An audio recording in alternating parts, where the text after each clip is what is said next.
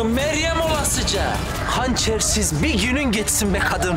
Efendim yakalanacağız diye içimde bir korku var. Sadık Bey size o aracı ne diye verdi kahvenin önünden? Yanık arabayla işimiz bitti mi? Dün geceki araçla dal ailesinin mandırasındaki izler örtüşüyor. Yazıklar olsun sana. Hayatımızı karartacaktın. Yazıklar olsun. Abim buralı adamıymış. Telefonunu düşürürken gördüm. Neredeymiş yani?